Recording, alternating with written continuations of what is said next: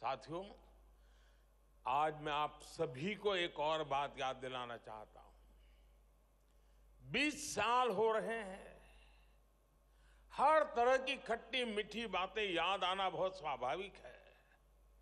आज दुनिया वाइब्रेंट गुजरात की सफलता देख रही है। लेकिन वाइब्रेंट गुजरात का आयोजन ऐसे माहौल में किया गया जब तब की केंद्र सरकार भी गुजरात के विकास को लेकर बेरुखी दिखाती थी। मैंने हमेशा ही कहा है कि गुजरात के विकास से देश का विकास, लेकिन उस समय केंद्र सरकार चलाने वाले गुजरात के विकास को भी राजनीति से जोड़कर देखते थे। केंद्र सरकार के मंत्री तब वाइब्रेंट गुजरात समिट में आने से मना कर दिया करते थे। व्यक्तिगत रूप से तो मुझे बताते थे कि नहीं नहीं, हम ज़रूर आएँगे। पता नहीं, पीछे से डंडा चलता था, वो ना कर देते थे।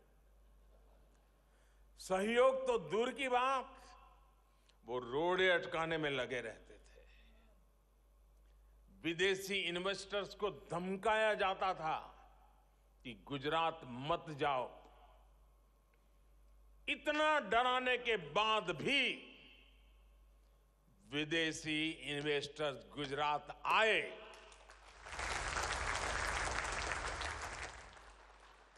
जबकि यहाँ गुजरात में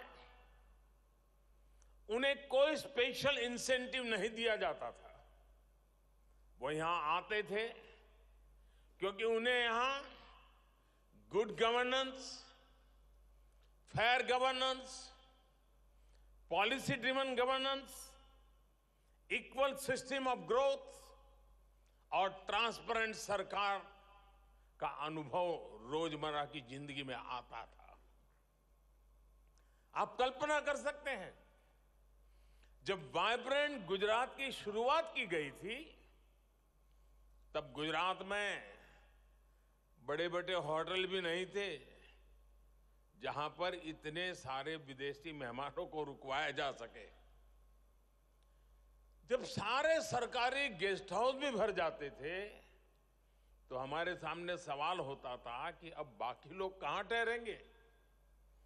ऐसी स्थिति में बिज़नेस हाउस ने को मैंने कहा, भाई, जरा आपके कोई गेस्ट हाउस वगैरह है तो वो भी छोड़ दीजिए ताकि उनके काम आ जाए। यूनिवर्सिटी के गेस्ट हाउस तक का हमने उपयोग किया। उनके गेस्ट हाउस में मेहमानों को रुकने का इंतज़ाम किया गया। कुछ लोगों को बड़ौदा भी ठहराना पड़ा। साथियों, मुझे याद है 2009 में जब वाइब्रेंट गुजरात का आयोजन किया गया, तब पूरी दुनिया में मंदी का माहौल था, मंदी की चपेट में दुनिया थी। और सबने मुझे बताया हमारे अफसर भी मुझे बता रहे थे कि साहब, इस बार वाइब्रेंट गुजरात स्थगित कर दीजिए, ये फ्लॉप हो जाएगा, कोई नहीं आएगा। लेकिन मैंने उस समय भी कहा, जी नहीं, ये रुकेगा नहीं, ये होगा। अगर विफल हुआ तो आलोचना होगी, और क्या होगा? लेकिन आदत छूटनी नहीं चाहिए